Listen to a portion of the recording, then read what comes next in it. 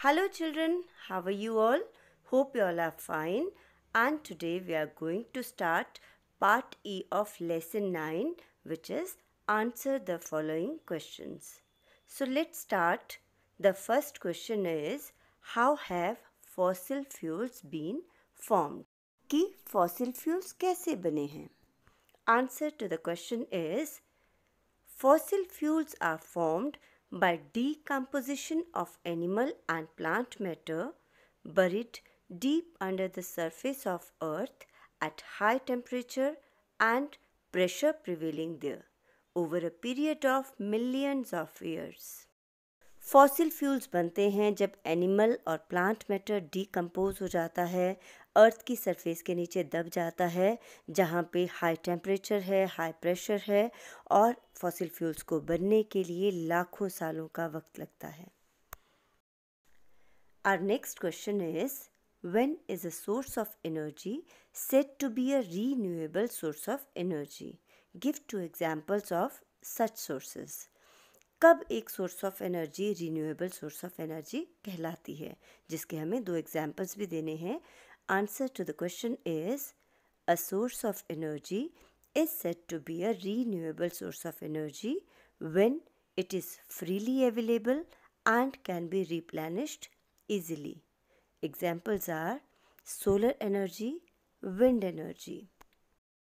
किसी भी energy source को तब रीन्यूएबल सोर्स ऑफ़ एनर्जी कहेंगे जब वो आसानी से उपलब्ध हो जाती है और उसको इजीली बनाया जा सकता है our next question is when is a source of energy set to be a non renewable source of energy कब किस एनर्जी सोर्स को हम नॉन रिन्यूएबल कहेंगे?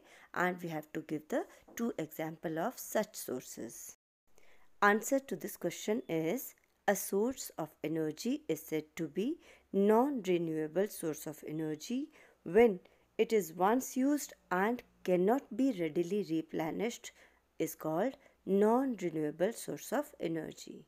Example, coal, petroleum. किसी भी एनर्जी सोर्स को तब non renewable source of energy कहेंगे जब वो फ्रीली अवेलेबल नहीं है और उसको इजीली नहीं बनाया जा सके जैसे coal petroleum let's move to the next question how is coal use by power houses for generating electricity power houses coal का कैसे इस्तेमाल करते हैं इलेक्ट्रिसिटी जनरेट करने के लिए? हम जानते हैं कि कोल यूज़ किया जाता है वाटर को स्टीम में चेंज करने के लिए। फिर यही स्टीम एनर्जी टरबाइंस को ऑपरेट करने के लिए यूज़ की जाती है, जिस वजह से कि इलेक्ट्रिसिटी जनरेट होती है। So the answer to the question is power houses burn coal to convert water into steam.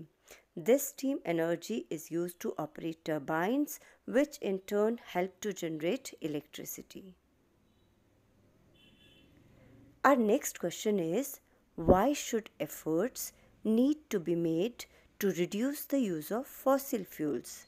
हमें क्यों कोशिश करनी चाहिए कि फॉसिल फ्यूल्स का इस्तेमाल कम हो answer to the question is efforts need to be made to reduce the use of fossil fuels because number 1 they are available in limited quantity and are not likely to last for a long time एक तो वो limited quantity में available हैं और वो ज़्यादा समय तक हमारे पास नहीं रहेंगे number two they are major cause of environmental pollution और वो एनवायरनमेंट को हार्म करते हैं and they are the major cause मुख्य कारण हैं वो एनवायरनमेंट पोल्यूशन के, इसलिए कोशिश करनी चाहिए हमें कि फॉसिल फ्यूल्स का इस्तेमाल कम से कम किया जा सके so dear children write all the question answers in in notebook and this this all for today thanks for watching watching. Have a good bye bye.